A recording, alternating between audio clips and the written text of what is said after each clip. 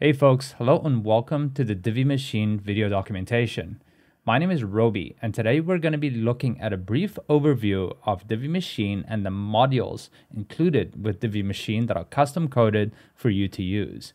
You'll find other great Divi Machine resources on our documentation site at help.diviengine.com which will also be linked in the description of this video. If you get stuck with more complex challenges, definitely feel free to reach out to our amazing support team and they'll help you find a solution. Now, before we get started, let's make sure that we've been updated to the latest versions of Divi Machine, the Divi theme, and WordPress. Now, once you've got that all squared away, let's jump right into it. Okay, so to show you guys all the different modules included with Divi Machine, we're gonna go over to Pages here. Then we're gonna add a new page. Just name it whatever you want. But uh, once it loads here, just add a section and a row, and then I'll click here on Add Module. Okay, so the first module on the list is the ACF item list. This displays one field created in the Advanced Custom Fields plugin. Next is Archive Loop. This displays basically just all of your posts that you have created. Next is category loop, and this will of course display your different categories.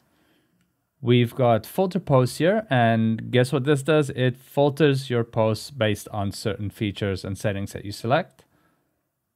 Then we've got the gallery and slider module. This displays, of course, a gallery of the images or a slider of the different images associated with your post. We've got order by, so this basically just puts a button that lets you order your post based on certain features. Then we've got post carousel, and of course, this will display your various posts as a carousel. Okay, then post meta, and this, of course, displays your post metadata. We've got the post slider module, and this will display all of your posts in a slider fashion. The post title, of course, will display your post title. Then we've got the repeater, and this will repeat the type from um, the ACF, the advanced custom fields. Next up is search posts, and this will display search posts. Then we've got the view posts button, and this is used with the custom loop layouts. And lastly, we've got the thumbnail, and this will display any post thumbnails that you have configured.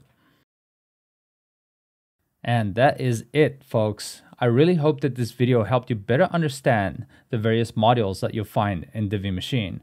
And again, if this video did not cover exactly what you were looking for, definitely check out our documentation at help.diviengine.com for more text and videos which will help you master Divi Machine. As always, definitely contact our incredible support team with more complex challenges that might come up and they will do their best to help you out. And with that, this is Roby from the Divi Engine team. Thank you for watching, and I'll catch you guys in the next video. Bye for now.